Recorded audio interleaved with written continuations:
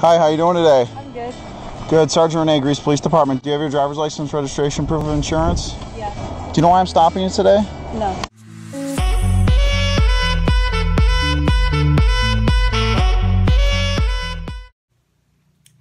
I have had a week. so, I don't even know how to start. There was this video that released that was taken of me getting pulled over. And I don't want to spoil it if you haven't seen it. Um, but I will link to that video in the description. um, no spoilers, but it was on the news and it was iconic. Look, I'm just a mess right now. I've been wearing this hoodie for like three days and I kind of need a shower and it's just not, it's, you know, life is crazy. There's always those things that like happen and you see them on the news or you see them like go on Ellen and you're like, oh, that doesn't really happen. Like you don't really believe it. And then it happens to you and you're like, this is the type of thing where you're you think it only happens to people who have make-a-wish or who are very rich. Um i'm neither of those and it happened to me. So always have hope. So let me take you back to early may. She was going to take me uh, to practice driving because i'm on my permit and that's something that you have to do on your permit. Um you're not just for anyone who didn't know, you're not just magically blessed with the ability to drive, you do have to learn.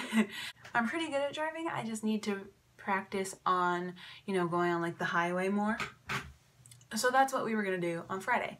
So then Friday rolls around and my mom is like, hey, maybe don't wear sweats.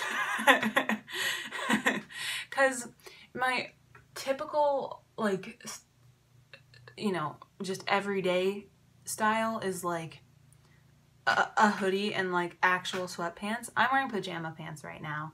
They have llamas on them. And I was like, why? And she then said that she was taking me somewhere uh, and that I would want to take pictures. And so I was like, okay. And she said I could drive there because that was going to be my practice. And she said the practice be on this day specifically was all just like a ploy so that she could take me to this surprise that was on the highway. Oh. and so then all of a sudden she's like, oh, and Sam's going too. And Sam is my brother. And, and I'm like, why? Uh, and she was like, oh, he'd he'd want to take a picture too. And so I was like, okay. So all of a sudden, I'm dressed. I'm not in a hoodie anymore.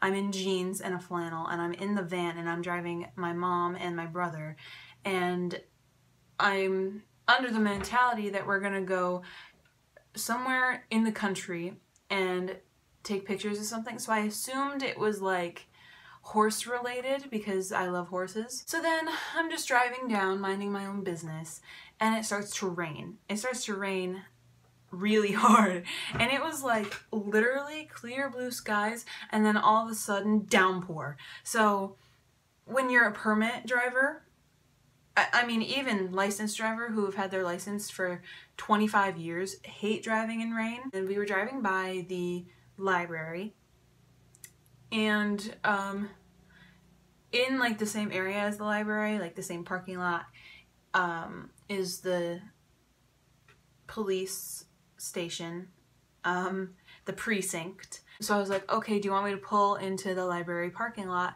while you, so that you can text this person that we're going to see and for the C prize and um, you know, figure it out. So she's like, okay, yeah, pull into the library parking lot. So I did, and I was like, I'm, she was, and then she said, you may as well just practice parking while you're here. Cause, um, I hadn't practiced backing into spaces a lot. So I was like, okay. And so I was just driving around, again, minding my own business, with no clue in the world. And all of a sudden, there's a cop car behind me. So then all of a sudden, his lights go off and his siren goes off. And I'm like, okay, well, I'm not doing anything wrong, so maybe he's just trying to go around me. So I like kind of pull over, definitely leaving enough room for him to get past me, and he doesn't go by me. So I'm like, oh, he's pulling me over. So I just pull into a parking space, and my mom is like, just be calm, just be calm. So I'm being pulled over. Like, I, at this point, I'm being pulled over. He's getting out of his car. He's coming over to my window. He's like in his full get up and he he's he's a for real cop. My mom is like trying, you know, she's like, you weren't doing anything wrong. I don't know why you're being pulled over. So he comes to the window and he's like, hey, uh, he's like, how are you doing? And I'm like, good, even though I was really, really nervous. So he comes to the window and he's like, license and registration. I'm like, okay. So I give it to him. And this was one of the most traumatizing parts because I had to give him my permit and my permit picture actually looks like a literal mugshot. And well, because all my life people are always like, oh, you have to like have your hair brushed back and you're not allowed to smile and all this stuff. And I, as a naive child, thought that they were talking about licenses, but uh, they were actually talking about passports, obviously. So when I went to get my permit and they were taking my picture, I was like, oh, I'm not supposed to smile. and I, so and I actually was not thinking that I would get my picture done. I don't know why. I just thought I was going for the, you know, test. And so then I, and so my hair was not cute.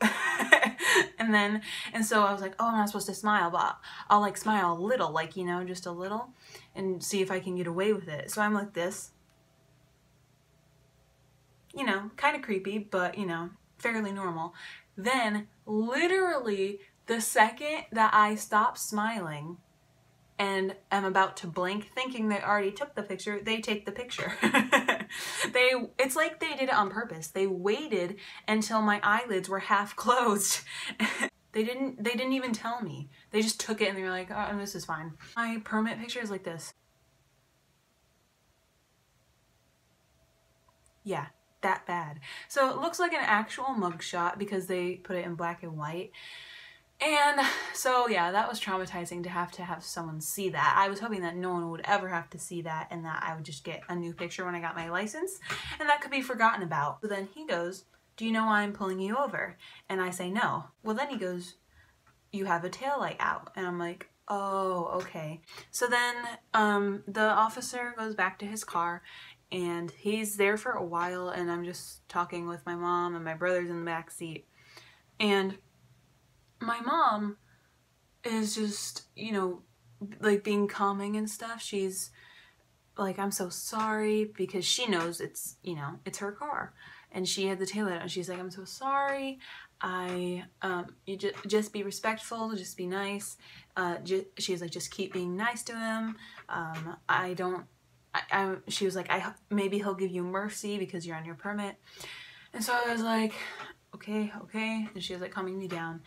So then he comes back to the to my window and he gives me back my awful permit and he's like he's like okay I have good news and bad news and so obviously I'm like what could possibly be good news um, and he's like the bad news is I unfortunately have to give you two tickets and so literally if you watch the video you can see my face change and I'm like just in sheer like terror. And so then he goes, and the good news is that they're tickets to see Shawn Mendes in concert.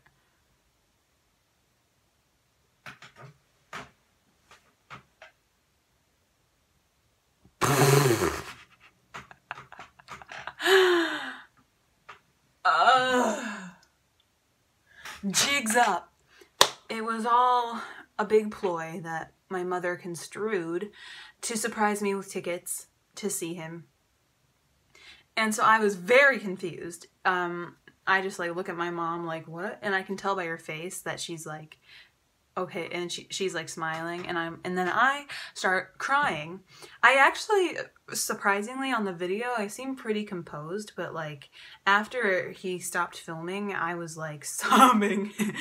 so my mom, her love language is gifts. She loves to give um, gifts to people and like surprise people, like so much so that she'll like do anything she can to make it happen. And we know a lot of cops, and none of them could do it. So she just walked into the uh, precinct and was like, hey, this is what I want to do. Can you help me do it? And they were like, heck yes. The story behind why my mom worked so hard to get those tickets is a long story. I have a disease that I was born with, and it's um, it's an incurable disease. I won't go into it. That's that's for another video of you know me explaining the disease.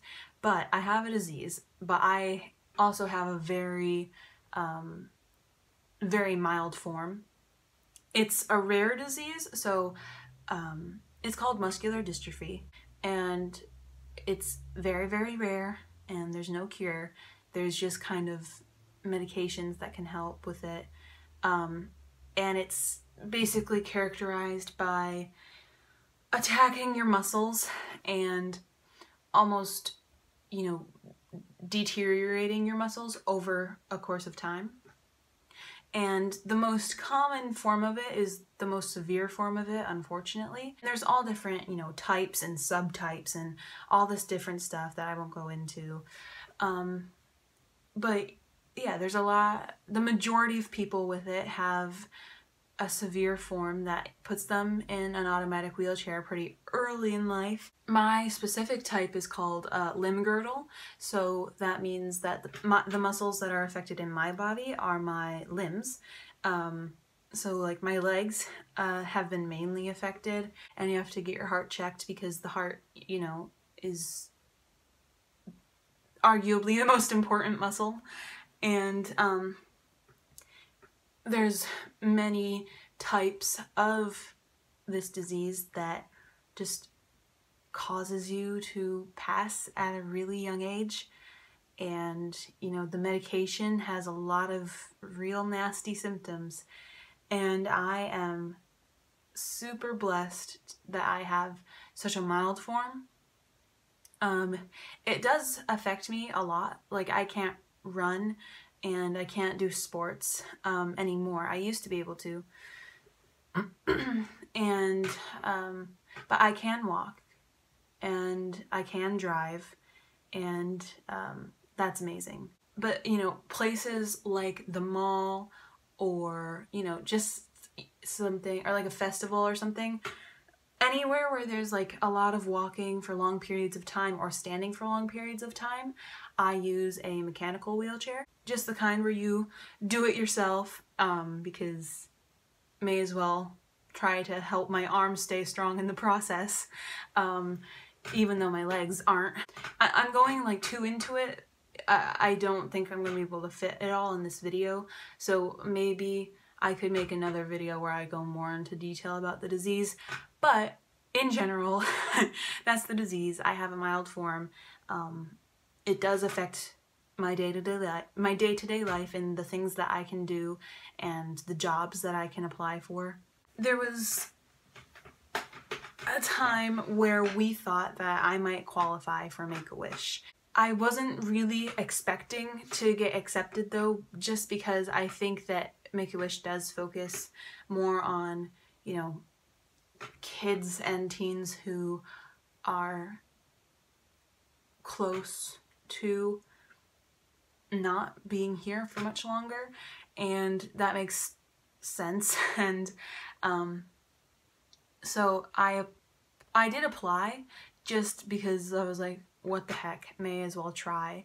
Um, but I really really kept my expectations low because you know it just didn't if I did get it, in all honesty, it wouldn't make much sense. There's no shade at all to Make a Wish. They are an amazing foundation. They help so many others that have um, a more deadly form of my disease. I'm gonna live a long, happy life, and yes, I will have difficulties and um, struggles because of my disease, but I'm gonna get to live it so my wish was gonna be something with Shawn Mendes. I my I really wanted to sing with him, um, which seems like a long shot. It is, but I really love to sing, and I really his writing really touches me. Music is something that I value and that affects me very strongly. A lot of people, you know, think of Shawn Mendes and just think of his you know, top singles that are just really catchy. Um, but, you know, for me as a fan, it's, you know, it's that song, it's song number 12 on the album that's completely forgotten about. It didn't top the charge, charge, charge, it didn't top the charge.